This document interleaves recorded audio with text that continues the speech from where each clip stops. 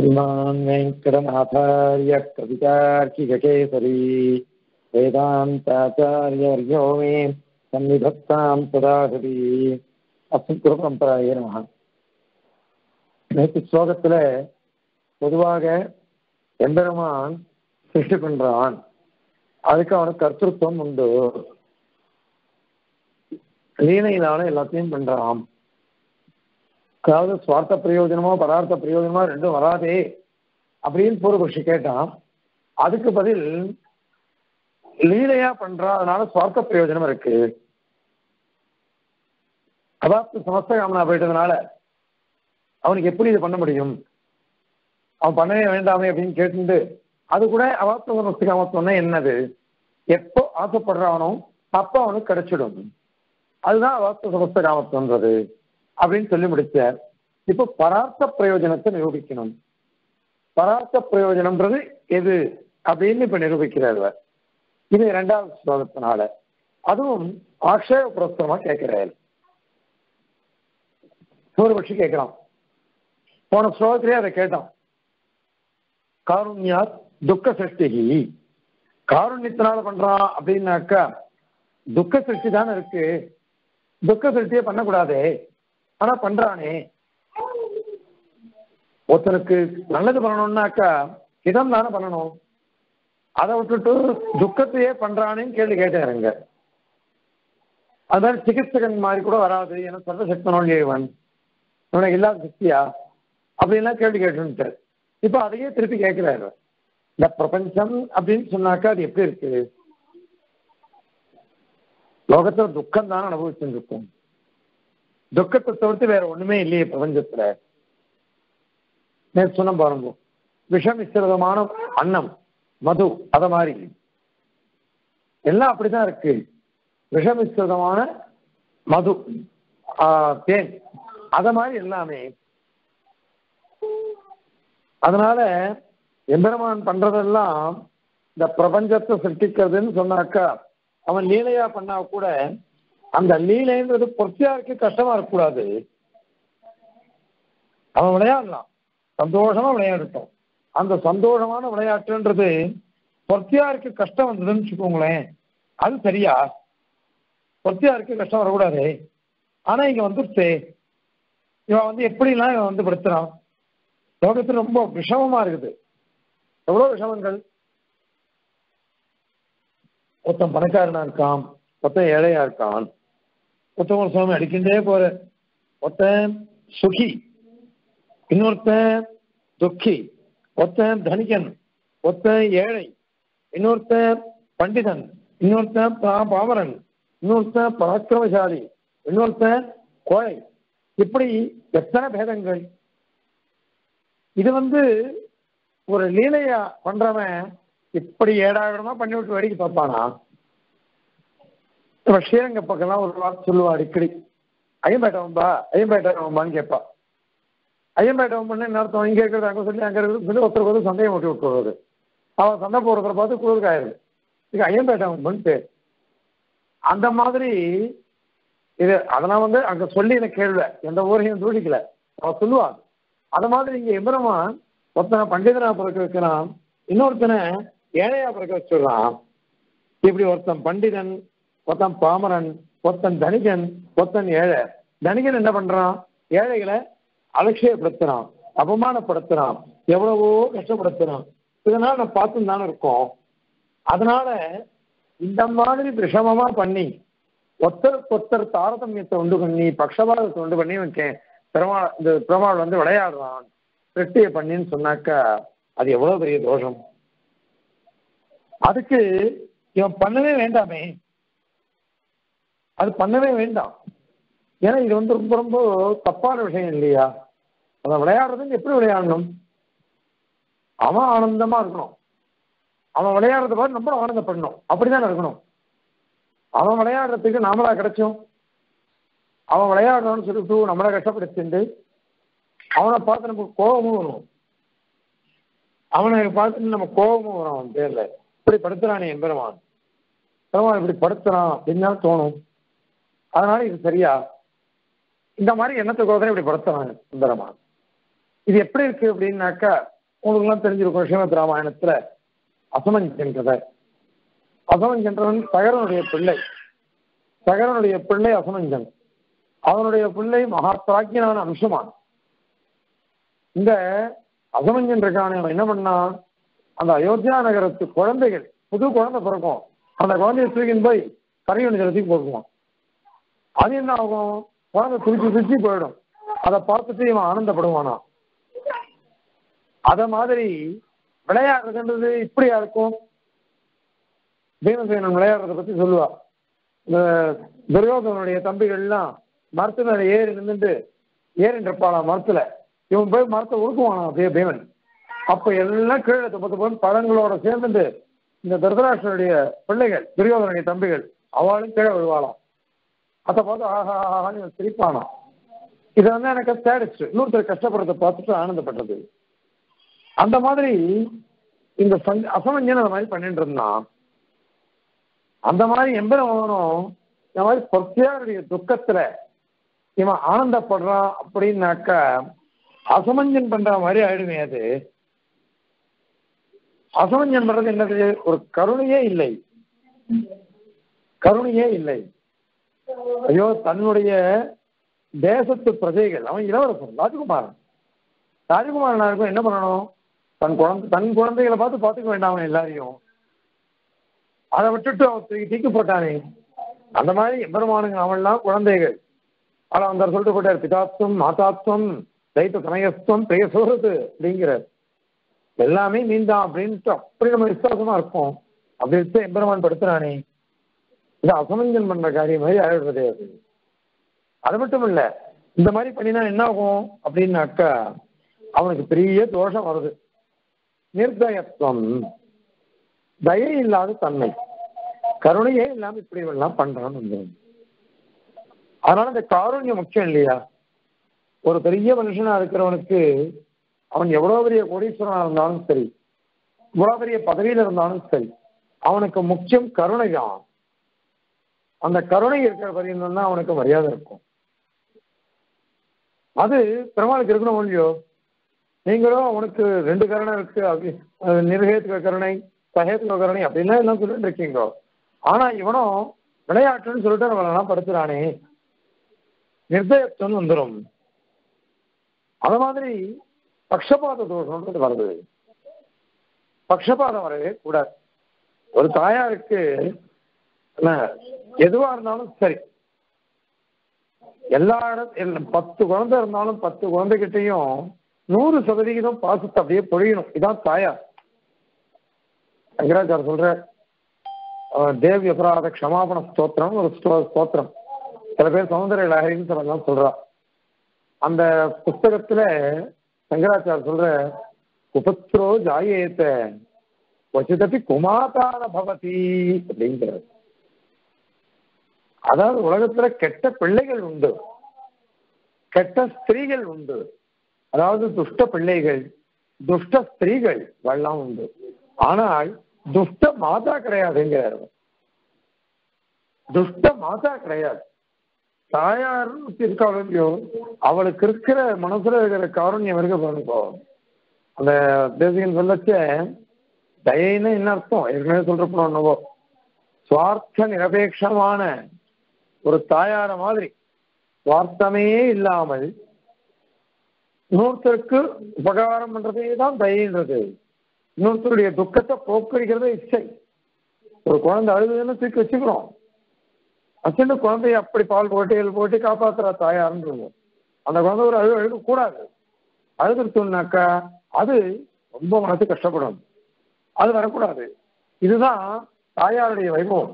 குபுத்திரோ ஜாயத்தை கொச்சிதப்பி குமாதான பவதி அப்படிங்கிற பகவத்பாதர் இந்திராச்சாரி நமக்கு தத்துவத்துல விரோதம் இருக்கலாம் ஆனால் இதுல விரோதம் இல்லையே இந்த தாயார் விஷயத்துல விரோதம் இல்லையோ இல்லை நமக்கு ஆனா அப்படியே அதை ஏத்துக்கலாம் அதான் தேசியம் சொல்றேன் மண்ணியே மாத்தா ஜடைய வசதே வத்தலா மாதிரி சேர்த்தோம் பத்து குழந்தைகள் இருந்தா கூட சரி ஜடமா இருக்கிற பிள்ளைய பார்த்தாதான் தாயாருக்கு ஆசை வருமா அவ்வளவு ஆசை வருமா ஜடமா இருக்கிற பசங்களை பா- குழந்தைகளை பார்த்தாக்கா மாட்டுக்காரனுக்கு நொண்டி மாட்டுக்கிட்ட தான் ஆசை அதிகமா இருக்கும்னு வா நொண்டி மாட்டுக்கிட்ட தான் ஆசை இருக்கும்னு அதே காலட்சேபம் பண்ண காலத்துல சுவாமிக்கு எத்தனையோ பேர் காலட்சேபம் பண்ணாலும் என்கிட்ட ஒரு அத்தியந்த பிரீதி இருந்தது விசேஷமான பிரீதி. அந்த பிரீதி எதுக்கு? அப்படின்னா இப்ப சொல்லுவா இந்த பையன் ரொம்ப ஏழையான குடும்பத்துலேருந்து வந்திருக்கான். பணம் கிடையாது. இதுக்கு படிச்சு இனிமேல் தான் உத்தியோகம்லாம் கிடைக்கணும். உத்தியோகம் கிடைச்சி நல்ல இது கடை ஸ்திதியில் அமையணும் அது. காது யாரும் கேட்காது இவனுக்கு. உனக்கு எல்லாம் சொல்லி கொடுங்க என்னை பார்த்துட்டே சுவாமி சாய்ப்பார் காலக்ஷேபம். எல்லாரையும் பார்த்தாலும் அடைய என்னை பார்க்கறது கொஞ்சம் இன்னும் கூட பார்த்தார். அப்போ சொல்லுவா என்னை பார்த்துட்டு எல்லாரும். வந்து மாட்டுக்காரனுக்கு நொண்டு மாட்டு பேர்ல தான் ரொம்ப ஆசை ஆசை அதிகம். உங்ககிட்ட சுவாமிக்கு ரொம்ப பிரீதி இருக்கே அப்படின்னுவா. அதுல சந்தேகமே இல்லை. பரம கிருப்பையோட சுவாமி எனக்கு வச்சார் அதான் போகட்டும். அத மாதிரி ஒரு தாயா இருந்தோ அப்படி இருப்பான்னு தேதி சொல்றேன். மண்யே மாதா ஜடைவசதே சுதே வத்சலா சேர்த்தம் அப்படின்னு அதனால எம்பெருமானுக்கு நாம எல்லாரும் குழந்தைகள் தானே. அப்படி இருக்குச்சு ஒருத்தனை மனக்காரனா ஒருத்தனை ஏழையா? நம்ம கர்மா கர்மான்னு சொல்லலாம். கர்மா கர்மான்னு சொன்னா கூட அந்த கர்மாவை மாத்துறதுக்கு அவனுக்கு சக்தி இல்லையான்னா? அதனால அது எப்படி அது? அதனால இவனுக்கு நிர்தயத்துவம்னு ஒரு தோஷம் வந்துடும் அது மட்டும் இல்லாம பக்ஷபாத்தம்னு ஒரு தோஷம் வந்துடும் இந்த தோஷங்கள்லாம் வந்து பக்ஷபாத்தம் வந்து தயை இல்லாம இருக்கிறதுனா கஷ்டப்படுறவளை பார்த்துட்டே இருக்கிறது. சோழன் சொல்ற முடியும் பாபம் பிரஜாம் நாசயதி.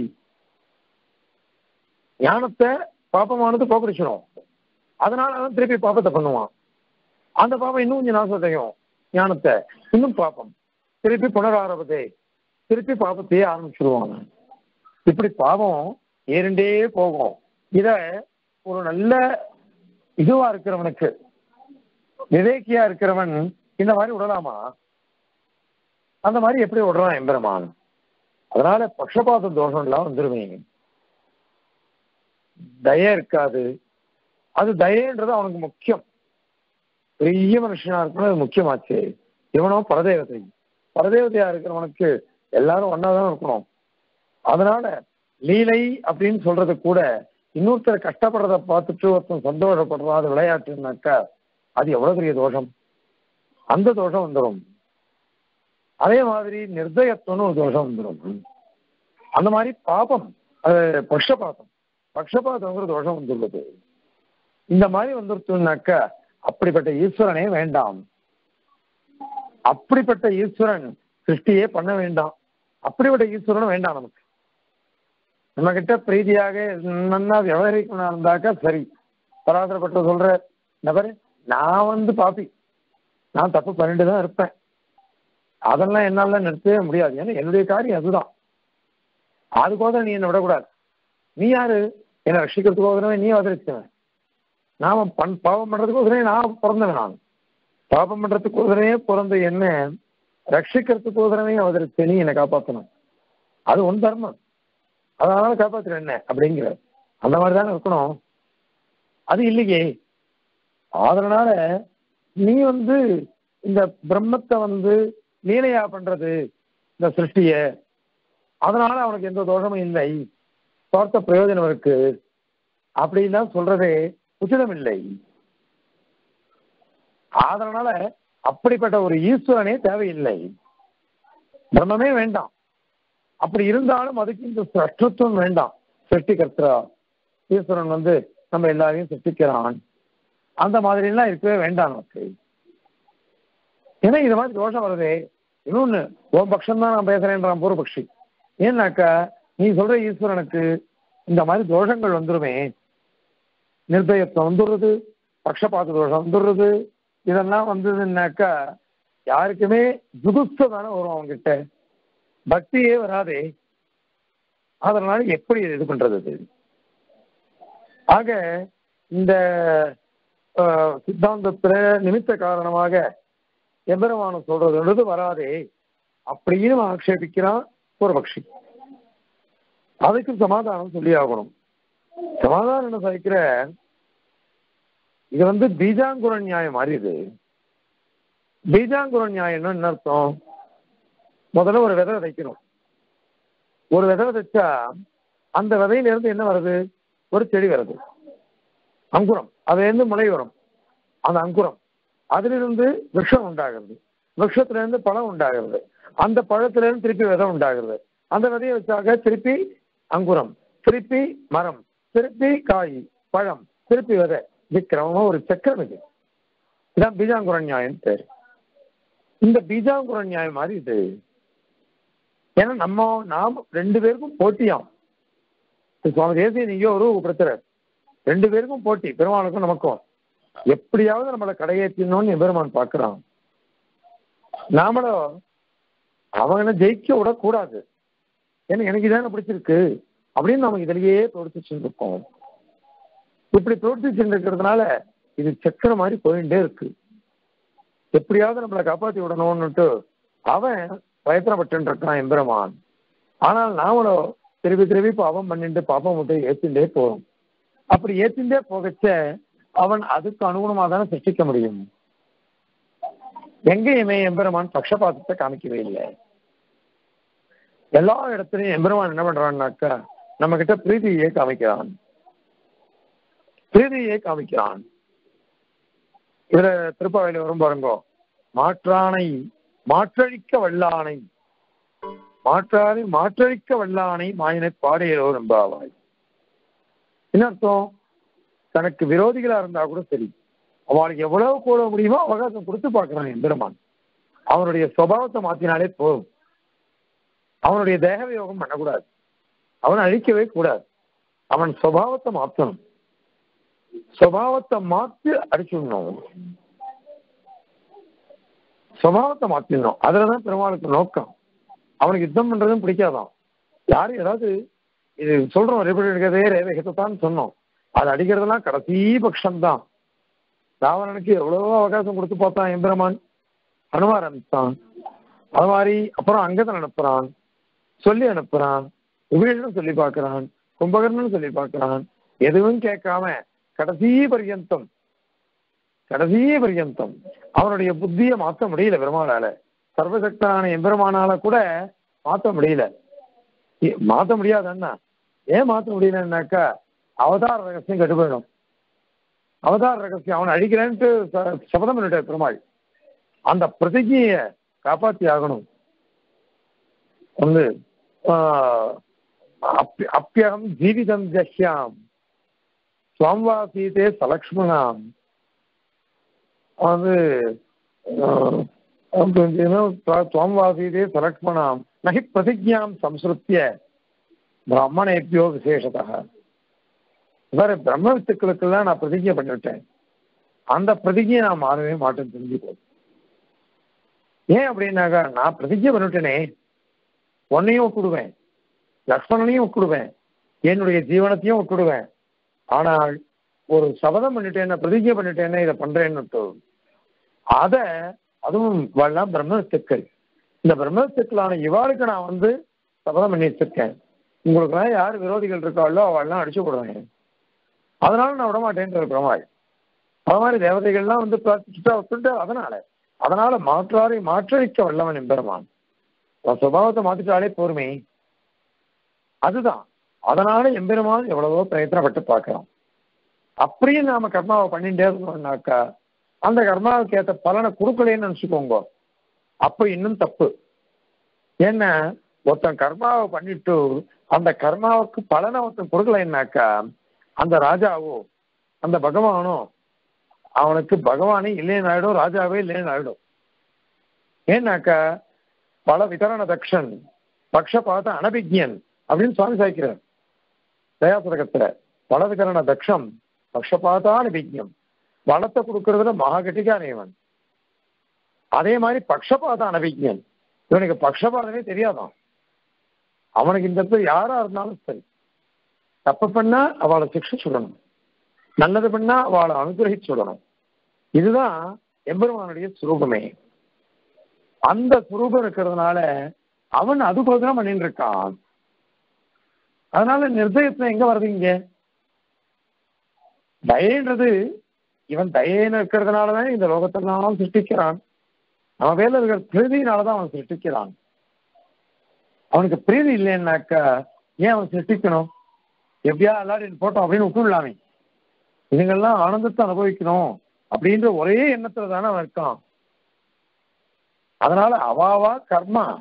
அந்த கர்மாவுக்கு அனுகுணமாக எல்லாத்தையும் பண்ணிட்டு இருக்க பெருமாள் பின்னாடி வந்து மூணாம் பாகத்தில் வரப்போறது பராயத்த அதிகரணம் அதுல சுவாமி ஒன்று சொல்ல போறாரு. அதாவது லோகத்துல பிறந்தோ பெருமாள் சிருஷ்டிகர்த்தா. சிருஷ்டிகர்த்தான என்ன அர்த்தம்? தாம் பொதுவான காரணம் எம்பெருமான். அதுக்கு உதாரணம் சொல்ற ஒரு விவசாயி இருக்கான். இந்த விவசாயி என்ன பண்றாங்கனாக்க நிலங்களுக்கு அவன் வந்து பயிரிடுறான் பயிரிடச்ச ஜலம் ஜலம் பாய்ச்சான் ஜலம் பாய்ச்சுற சமயத்துல ஒரு கழனி முழுக்க அவன் பாய்ச்சுறான். கழனி முழுக்க உரம் இடுறான். மருந்து தெளிக்கிறான். எல்லாம் களை எடுக்கிறான். எல்லாம் அட்டகாசமா பண்ணி வச்சிருக்கான் அவன். ரொம்ப நன்னா. அப்படி பண்ணினா கூட ஒரு பயிர் ரொம்ப ஃபஸ்ட்டாக தான் வளர்றது. ரொம்ப நன்னா வளர்ந்து அப்படியே விதைகள்லாம் அந்த நெல் தானியங்கள்லாம் ரொம்ப நல்லா விளையிறது. ஆனால் இன்னொரு பயிர் மத்தியமமா இருக்கு சாதாரணமா இருக்கு. இன்னும் சில பயிர் வளரவே இல்லை. வளரவே இல்லை.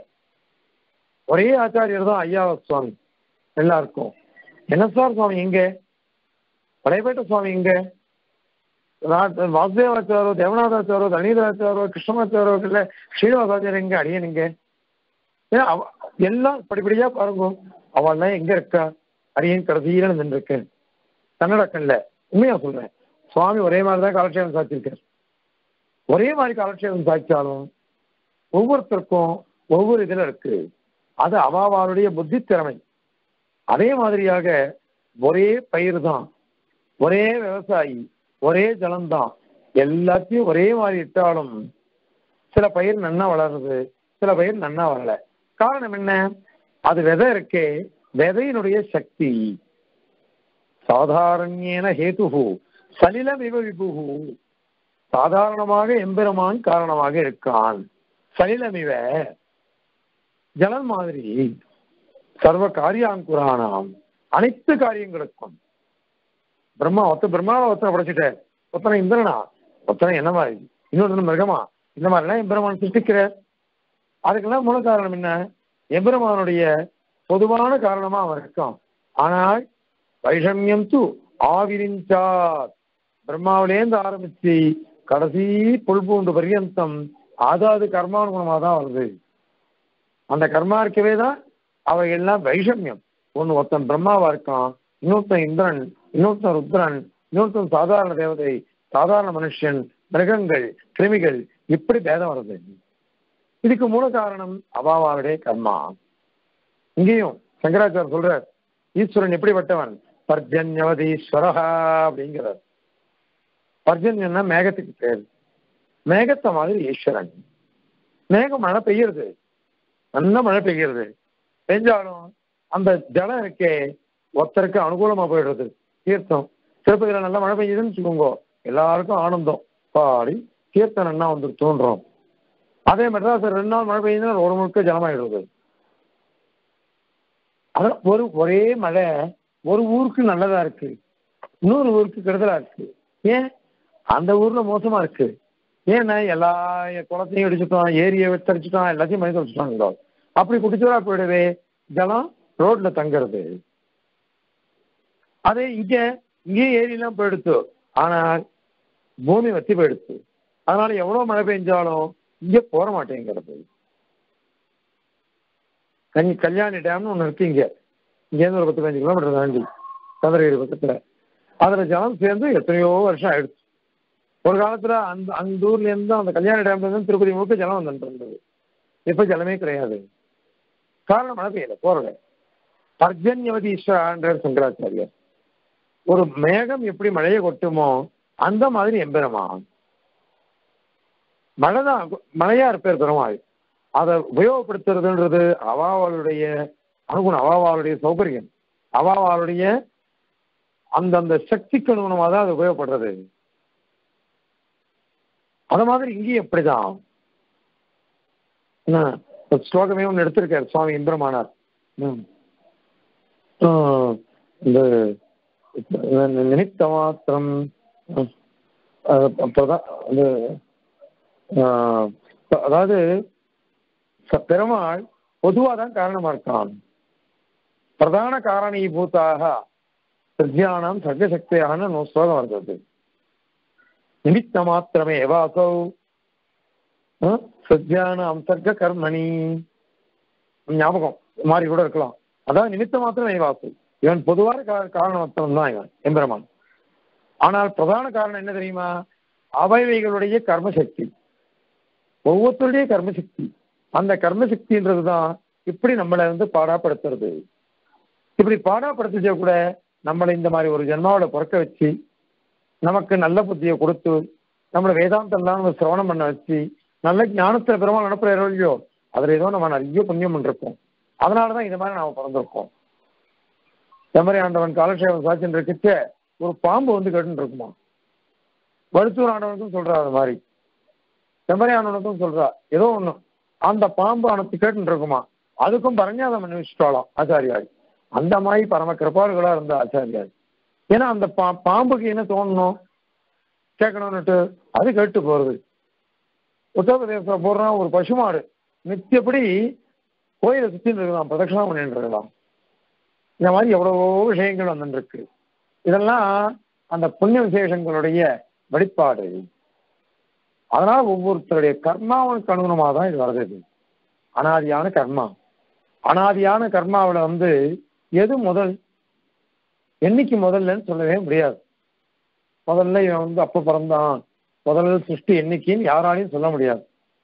இது அனாதியான சம்சாரம். இதுக்கு ஆரம்பன்றதே கிடையாது. முடிவும் கிடையாது. முடிவும் கிடையாது.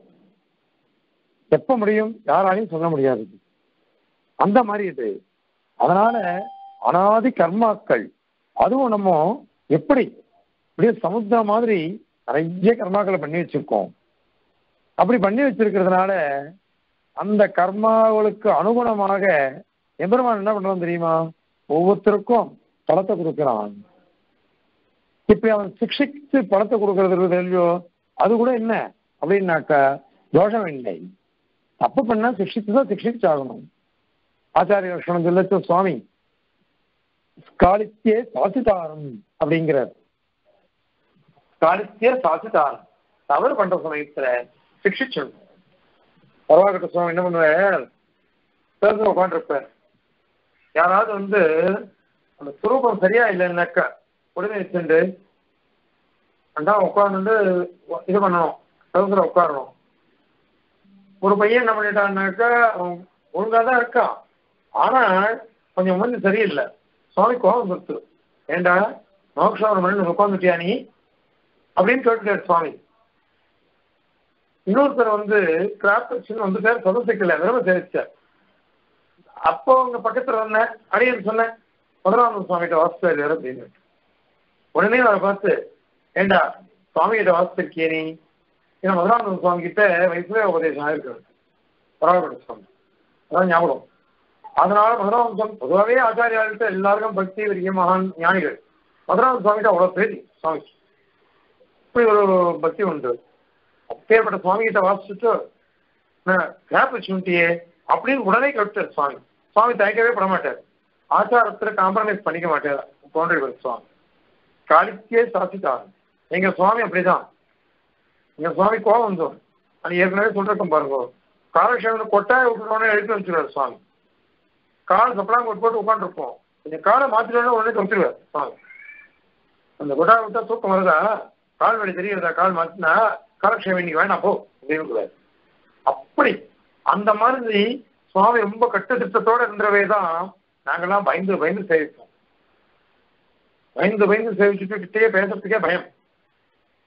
ஆனா பக்கத்துல உட்காந்து இல்லை அப்படி இருக்கவே தான் ஏதோ ஒரு அக்ஷராபியாசம் மாதிரி அடையணும்லாம் வரதிப்போம் அதனால ஆச்சாரியான்றது காலித்தே சாதித்தான ஆச்சாரியரே அப்படி இருக்காருனாக்கா சர்வரக்ஷகனான எம்பெருமான் ரட்சிக்கிறோம் ரட்சிக்கிச்சே ஒரு குழந்தை தப்பு பண்ணுச்சே தப்பு பண்ணாதேன்னு மிரட்டணும் அத மாதிரி இவன் சிக்ஷை பண்றான். அதனால கருணை இல்லைன்னு அர்த்தமா? அதே கருணை தானே. உனக்கு தவறு பண்ணுச்ச பண்ணாதே பண்ணினா தப்பு அப்படின்னுட்டு மிரட்டி அழிஷம் இருந்தாக்கா அது சிக்ஷா. அந்த சிக்ஷையும் கருணையினால உண்டானதுதான் அப்படி கருணையினால வர்றதுனால தான் அவனுக்கு நல்ல வழி கிடைக்கிறது. கடைசியில வாதி கையை கூப்பிட்டு போறான். எல்லாரும் கையை கூப்பிடுறான் விராதன் அனுகிரகம் அவனுக்கு சந்தோஷம் அவனுக்கு. விராதன் பரிபூர்ண அனுகிரகத்தை வாங்கிக்கிறான் எம்பிரமான்ட்ட கபந்தன் என்னை இது பண்ணிவிடு. என்னை இது பண்ணிடு என்னை குத்தி விட்டுடு. என்னை வெட்டி போட்டுடு. உனக்கு நான் சீதை அடையிறது வழி சொல்றேன். அப்படிங்கிறான். என்ன தெரிஞ்சுட்டான் பரதத்துவமா எல்லாரும் தெரிஞ்சு சேவிக்கிறா. அவ தப்பு பண்ணவனும் பெருமாள் அவனை அழிச்சாருன்னா என்ன அர்த்தம்? சரீரத்தை அழிச்சு அவனுக்கு கல்பித விபுத பாவ கபந்தாபி நந்தித. கல்பித விபுத பாவம். தேவதையா மாத்திட்டார் அவனுடைய சாபத்தெல்லாம் தள்ளி விட்டுட்டார். அந்த கபந்த கபந்தனுடைய உடம்பு அடிச்சதுனால அதனால அவனுக்கு ரொம்ப சந்தோஷம். அவன் சேவிக்கிறான். சேவிச்சு சொல்றான் இப்படியே போ. பம்பா நதி வரும். விஷயமுக பர்வ பர்வதம் வரும். அந்த குதிரை இருப்பான் சக்கியம் பண்ணிக்கோ பண்ணு நல்லதடே அப்படின்னு அனுப்புறான் அவன் சொந்தன் அதனால எல்லாருமே எம்பெருமான் பண்ற காரியத்துல ஏத்துண்டு எல்லாரும் போறா. இதுதான் எம்பெருமானுடைய சிக்ஷை. இது கருணை. இந்த கருணையுடைய காரியமே தவிர்த்து இது ஒண்ணும் வேற ஒண்ணும் இல்லது மாறி விடுறதில்ல மாறி விடுறதில்ல அது. அதனால இது தோஷம் இல்லை ஆனா நாம பண்றது சாமான்யமான கர்மாக்கள் இல்லை. அந்த கர்மாக்களுக்கு அனுகுணமாக எம்பெருமான் நமக்கு சிக்ஷிக்கிறான் அதை போய் வந்து காருண்யம் இல்லை. அத மாதிரி பக்ஷபாத தோஷம் வந்துருச்சோ? அப்படின்னு சொல்றது தவறு இல்லையா? அது சொல்லக்கூடாது. இவன் அதை சொல்றா. நம்மளை பார்த்துட்டு. அதனால பக்ஷபாதமும் இல்லை. காருண்யமும் போகல. காருண்யமும் இருக்கு. பக்ஷபாதம் இல்லாமல் சமமா எல்லாரையும் பார்க்கிறான் எல்லாம் சமம்தான். இத்தனை பிள்ளைகள் பிறந்தாலும் ஒரு பிள்ளை நல்லா படிச்சு நல்ல உத்தியோகத்துக்கு போறான். இத்தனை நாங்கோ எங்க அப்பா ஆனா ஆறு பிள்ளைகள் நாங்கோ. எங்க பெரியண்ணா ஸ்கூல் டீச்சரார் இருந்து ரிட்டையர் ஆனவர் பெரிய தமையனார் சின்ன தமையனார் கேட்டரிங்ல பெரிய ஆளா இன்னைக்கு எனக்கு மூணாவது தமையனார் ராம்கோட உத்தியோகம் ரிட்டையர் ஆயிட்டார். நான் ஏதோ இந்த மாதிரி அக்ஷாபியாசம் ஆகி ஏதோ பாடம் சொல்லிட்டு இருக்கோம். அது என்னுடைய தம்பி டிவிஎஸ் உத்தியோகத்தில் இருக்கான் ஒருத்தருக்கு சம்பளம் அதிகம் ஒருத்தர் கம்மி. இந்த மாதிரி ஒவ்வொருத்தருக்கும் ஒவ்வொரு கற்ப இது விற்பியை கற்பிச்சிருக்கான் என்றமா இதை வந்து அவாவாளுடைய கர்மா தான். இது தாயா தப்பா இல்ல தம தகப்பனார் தப்பா இல்ல கர்மா தப்பா? யாருடைய தப்பும் இல்லை. நம்முடைய பூர்வ கர்மா. அந்த கர்மாவை கொடுங்கமாக ஒருத்தருக்கு பெரிய உத்தியோகம் கிடைக்கிறது பெரிய கோடீஸ்வரனா இருக்கான். அங்க அது முக்கியம் இல்லை. பணமா ஜீவனம் பணத்தினாலே சந்தோஷம் வரப்போகுது பணத்தினால சந்தோஷம் வரையே வராது. மனசனால தான் சந்தோஷம் வராது ஆனந்தமான மனசு இருக்கணும். அதுக்கு வேண்டியது என்ன? பரஸ்பரம். அனுராகத்தோடு எல்லாரோடையும் பழகிண்டு யாரையும் தேசிக்காம எல்லாத்தையும் பிரீதியா இருந்தோம்னாக்கா அதுலயே நம்ம பாபங்கள்லாம் கொஞ்சி போயிருந்தது இவா கெட்டவா? இவா நல்லவா? இவாளோட பழகணும் அவளோட பழகக்கூடாது அப்படி இப்படின்னுட்டு பரஸ்பரம் தேடத்தை வளர்த்துட்டே இருந்தோம்னாக்கா பாவம் ஏறிண்டே போகும். அதே சாந்தி ரசம் இந்த சாந்தி ரசம் வந்துருச்சுனாக்கா போதும். நம்ம சித்தாந்தத்தை வேதாந்தத்துல சாந்தி ரசம் தான் முக்கியம். பொதுவாக காவியெல்லாம் கருணாரசத்தை முக்கியமா சொல்றார். ஆனால் வேதாந்திகளோ சாந்தி ரசம் முக்கியம்னு சொல்றார். அதனால சாந்தி ரசம் வேணும். அந்த சாந்தின்றது மனசுல நிம்மதி வந்துருச்சுன்னா போறோம் அந்த எத்தனையோ பேர் நம்மளை துவேஷிக்கிறா விரோதம் இருக்கு. எது இருந்தாலும் அந்த விரோதத்தை நம்ம வந்து வளர்த்துட்டே போகக்கூடாது. வளர்த்துட்டே போகக்கூடாது. அன்னைக்கே சொன்னோம் பாருங்க எங்க ஏதாவது தகராறு வந்தாலும் போறோம். நான் வந்து சரண்டர் ஆயிடுவேன். எதுக்கு சண்டை? சண்டையே வேண்டாமே என் குழந்தைங்க ஏதாவது கேட்டத? என்ன வேணும் அதை பண்ணிடுறேன் அப்படின்னு சொல்லிடுவேன். என்ன எடுத்து? இது ஒத்த கொத்த முறைச்சிருந்து பிடிவாதம் பிடிச்சிருந்து எங்க போய் முடியும்? யார் தோக்குறாளோ அவ தான் ஜெயிக்கிறா சம்சாரத்தை. அந்த மாதிரிதான். நாம வந்து பிரமாணத்தை அதீனமா நம்ம போயிட்டு இருக்கிறது எல்லாத்தையும் பிரீதியா இருந்துட்டா சரியா போயிடுறது. அதனால இந்த மாதிரி துவேஷங்கள் நாம் வேண்டியதில்லை கர்ம பாபங்கள் பண்ணக்கூடாது. நம்ம பாபம் பண்ணினோம்னாக்கா எம்பெருமான் அது அத்தனையும் நம்மளை அடிக்கலாம். அந்த பாபத்துக்கு மூலமா சிக்ஷிக்கிறோம். அதனால அதுல பக்ஷபாதமும் இல்லை. நிஷ்காருண்யமும் இல்லை. கருணையோடு தான் எம்பெருமான் பிரவர்த்திக்கிறான் அதே மாதிரி சமமா தான் எல்லார்ட்டையும் ஒத்தைய ஒரே மாதிரி தான் இருக்கான் எம்பெருமான் ஒரே மாதிரி இருக்கிறதுனால அதில் தான் பார்க்கணும் ஆகவே இந்த தோஷமே வராது. அசமஞ்சன் அசமஞ்சன் மாதிரி ஆழ்வது கர்மா பொத்தியாருடைய கஷ்டத்துல இவன் ஆனந்தப்படுறான். அப்படிலாம் இல்லவே இல்லை. பொத்தியாருடைய கஷ்டம்ன்றது அவனே சித்திக்கிறது. நமக்கு நாமே வச்சுன்றது அது. நமக்கு நாமே வச்சுன்றது. ஒரு யானை வருது தள்ள தன்னை தூக்கி மண்ணை தூக்கி போட்டுக்கிறது யானை. தானே தனக்கு தானே. அப்போ அதை பார்த்து நம்ம சிரிப்போம். ரசிக்கணும் அவ்வளவுதான். இந்த மாதிரி பண்றதே அப்படின்னு என் பேரன் பிரச்சனை இருக்கான். பிரச்சனை இருக்கச்சு அவனுக்கு அந்த இது வந்துடுறது ஈழ ஈழம் வந்துடுறது இஷ்டத்துக்கு போறான் குழந்தை. போகச்சு தனக்கு தானே உடம்பு எல்லாம் போய்க்கிறான். அது குழந்தை. அது தெரியாது. அதனால நம்ம ஏதோ துணியில கட்டியிருப்போம். இல்லாத போனாக்கா கொஞ்சம் சிரிப்பு வருது வேடிக்கையா இருக்கு. அத மாதிரி வரும் இது வந்து குழந்தைகள் பண்றதுன்னா எப்படி விளையாடுறோமோ அத மாதிரி எம்பெருமான் அவ அவ கர்மானுகுணமா நம்ம எல்லாம் அனுபவிச்சுட்டு இருக்கோம் நம்ம காரியங்கள் பண்றோம். அந்த பலன் அந்த கர்மாக்கள் அனுகுணமாக நம்ம நடந்துக்கிறதெல்லாம் பார்த்துட்டு அவன் ரசிக்கிறான். கர்மாக்கள் குணமாக அதனாலதான் அவன் சர்வசக்தன். நம்ம கர்மாவெல்லாம் ஒரு கணத்துல போக்கிடலாமே போகக்கூடாது. அப்ப அத்தனை பேருக்கும் போய்க்கணும் அப்படியானா எல்லாரும் பாப்பம் பண்ணிட்டே இருப்பானே. அது கூடாது. அதனால இந்த ஸ்லோகத்துல இத சுவாமி கேட்கிறார். இப்ப பாருங்க.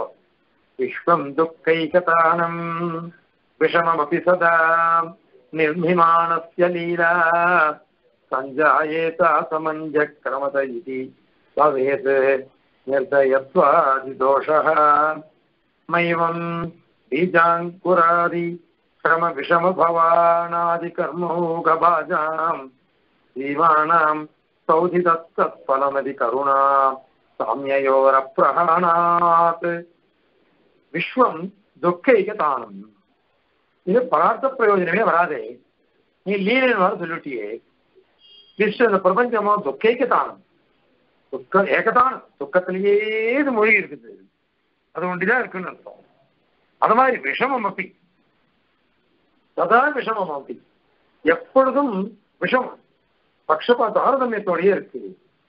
ஒருத்தன் பணக்காரனே ஒருத்தன் ஏழை ஒருத்தன் பராக்கிரமசாலி ஒருத்தன் கோழை ஒருத்தன் பண்டிதன் ஒருத்தன் பாமரன். இந்த மாதிரியே இருக்கே. அதனால விஷமமா இருக்கு. சதா எப்பொழுதும்.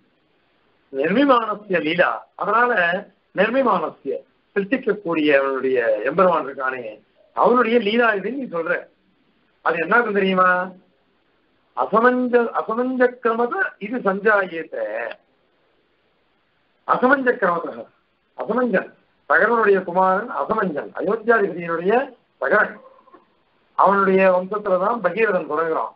அந்த சகரனுடைய பிள்ளைகள் சாகராள் அறுபதாயிரம் பேர். அந்த அறுபதாயிரம் பேரை போய் ஏற்கனவே சொன்ன பாருங்க. கபிலரை போய் கொடுக்கும் கொடுக்கிறார் கண்ணை திறகிறார் அவன் அத்தனை பேரும் சாம்பலா போயிடுறான். அவளை இது பண்றதுக்கு போகிறோம் அம்சுமான் தேடுறான். அம்சுமானுக்கு அப்புறம் அவனுடைய பிள்ளை அவனுடைய அப்புறம் பகீரதன்.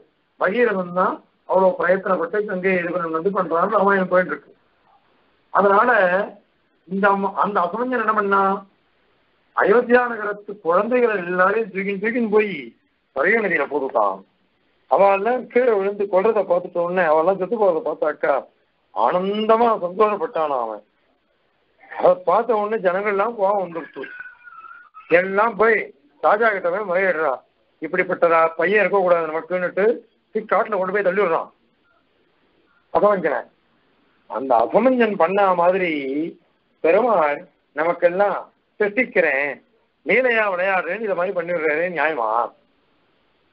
அதனால அசமஞ்ச கிரமத்தை இது சஞ்சாயத்தை அது மாத்திரம் இல்லாம நிர்தயத்வாதி தோஷா பதவி நிர்தயத்துவம் ஆதி யுத்தத்தினால பக்ஷபாதம் அந்த தோஷம் எல்லாம் வந்துடும் அந்த தோஷம் எல்லாம் வந்துருச்சுன்னாக்கா அவனை எப்படி வந்து பெருமாள்னு ஒத்துக்கிறது? நீலேன்னு எப்படி ஒத்துக்கிறது அந்த அந்த மாதிரி பிரம்மமே வேண்டாம் நமக்கு. அது இல்லவே இல்லை. அப்படின்னுட்டு பூர்வபக்ஷ ஆக்ஷேபம் சித்தாந்தம் மைவம் பீஜாங்குராதி கிரம. பீஜம் அங்குரம். பீஜம்னா விதை. அங்குரம்னா முளை வருது. அதுல இருந்து விஷம் வருது. இந்த கிரமமே வரிசையா வந்து இருக்கிறது இந்த மாதிரி பீஜாங்குராதி கிரமமாக இந்த பிரபஞ்சம் இருந்துருக்கு இருக்கு அந்த நியாயத்தினால இங்கேயும் வருது அது.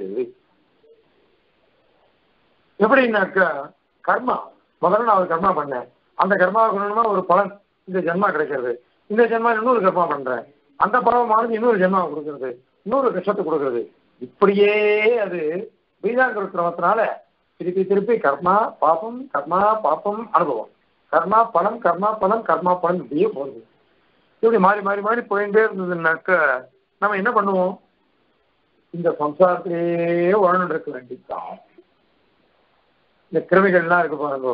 கிருமிகள் அந்த மாதிரி சின்ன சின்ன பட்சிகள் தும்பி இதெல்லாம் வருது. இவைகள்லாம் பாருங்க கொசு இதெல்லாம் சொல்றோம். இதுங்களுக்கெல்லாம் அந்த தேவயானமோ பித்திரியானமோ கதியே கிடையாது. மோட்சத்துக்கு போறதோ அல்லது நரகத்துக்கு போறதோ அல்லது சொர்க்கத்துக்கு போறதோ எதுவும் கிடையாது. இந்த பிரபஞ்சத்திலேயே சுத்தி சுத்தி சுத்தி அல்லாடின்னு இருக்கும் அதெல்லாம். ஏன்னா அப்படிப்பட்ட கர்மாக்கள் எல்லாம். எல்லாமே ஜீவராசி தானே. ஒரு ஜீவராசி இந்த மாதிரி பிறக்கிறது. சின்ன சின்ன கிருமிகளாக. ஒரு இது வரும். ஒரு அந்நியாய அந்நியாயபரி பஞ்சகம்னு ஒரு ஸ்லோகம்லாம் வரும். அதுல ஒருத்தன் வந்து சொல்லுவான் உங்க ஊர்ல யாரு வசந்தவன் ஒருத்தன் கேட்பான். பணவரவனுக்கு அந்த வசரத்துக்கு எவன் ஒருத்தருக்கானோ அவன் தான் எங்க ஊர்ல வசந்தவன் அதான் நல்ல காரியம் யாரும் பண்ண மாட்டான்னு அர்த்தம். அதனால பணவன அளவுக்கு யார் வசந்திருக்கானோ அவன் தான் வசந்தவன் அப்படின்னு அது மாதிரி உங்க ஊர்ல தாத்தா இருக்கானா வள்ளல் யாராவது இருக்கானா இருக்கான். யார் இருக்கான்னா செலவு தொழிலாளி இருக்கணும் நம்ம துணியை கொடுத்தோம்னாக்கா துவைச்சு கொண்டு வந்து கொடுத்துட்டு போவானோ இல்லையோ அவன் தான் வள்ளல் எங்க ஊர்ல. சரி இந்த ஊர்ல இருக்கிறவெல்லாம் எதிர ரொம்ப கெட்டிக்காரா? அவன் சொல்லுவான் அதுக்கு எங்க ஊர்ல இருக்கிறவா கெட்டியா? பொறுத்தியாருடைய ஐஸ்வர்யம் இதர ஸ்திரீகள் அவளெல்லாம் திருடின் போறதுல மகா கெட்டிக்காராதான் வேற ஒண்ணுமே இருக்காது. ஐயோ இப்படிப்பட்ட ஊர்ல நீ எப்படி நீ வசிக்கிற? அப்படின்னு அவன் கேட்பான். அதுக்கு இவன் பதில் சொல்லுவான் விஷகிருமின் நியாயேன ஜீவாமியகம். விஷத்தெல்லாம் கூட சில கிருமிகள்லாம் உண்டாயிடும். விஷத்தை சாப்பிட்டுட்டே அந்த கிருமிகள்லாம் எப்படி ஜீவிக்கிறது? அந்த மாதிரி நாங்கள்லாம் எப்படி இருக்கோம்னாக்கா இந்த இது பழகி கொடுத்து எங்களுக்கு. இதுலயே மாட்டி நாங்களும் அல்லாடின்னு இருக்கோம் இதுலயே வச்சுட்டு இருக்கோம். அப்படின்னு வரும். அத மாதிரி சிருஷ்டிகள். பாபம் நிறைய பண்ண பண்ண பண்ண இந்த பிரபஞ்சத்திலேயே ஓணுன்னு இருக்கிறவா? எத்தனையோ ஜீவராசிகள் அந்த மாதிரி இருக்கு. நித்திய சம்சாரிகள். அப்படின்னு சுவாமி ஒரு குரூப் போடுறார். நித்யாள் முத்தாள் பத்தாள் கடைசியில நித்திய சம்சாரின்னு ஒரு பட்சம் இருக்கட்டும்ன்றார் சுவாமி.